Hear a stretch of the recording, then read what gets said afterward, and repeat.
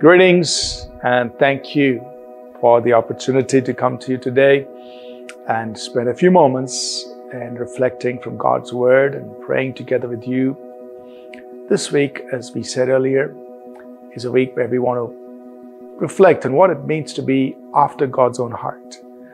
And uh, we are looking at that scripture from 1 Samuel 13, 14, and also from Acts 13, 22 both these references that talk about David being a man after God's own heart.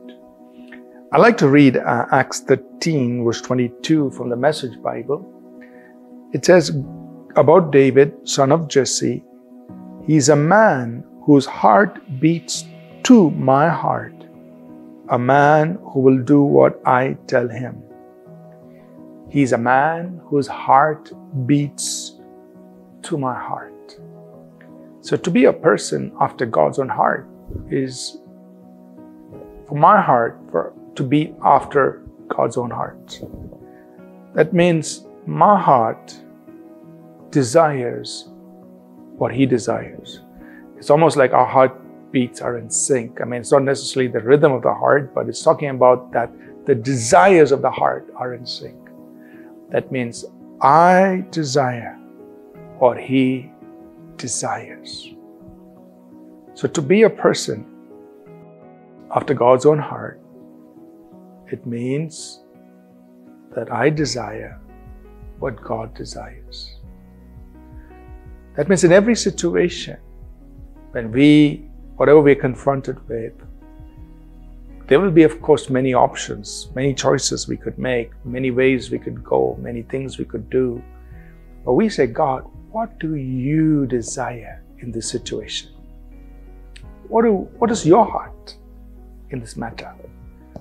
What is what do you desire to do here? Whatever that situation might be. And when we live according to the desires of His heart, then we are people after God's own heart. So, how about pausing and reflecting in different situations God, what is the desire of your heart in this situation? What is the desire of your heart in this matter? Because when my heart desires what He desires, I become a person after God's own heart. Try it out. Live that way. You're going to desire what He desires so that you can be a person after God's own heart. Let's pray. Father, we ask that in every situation, we will pause and we'll ask, What do you desire? That our heart will desire what you desire. That we will be people after your own heart, where our hearts beat with yours. We thank you in Jesus' name. Amen. Thank you for tuning in to Living Supernaturally. For more resources to strengthen your spiritual walk, please visit apcwo.org.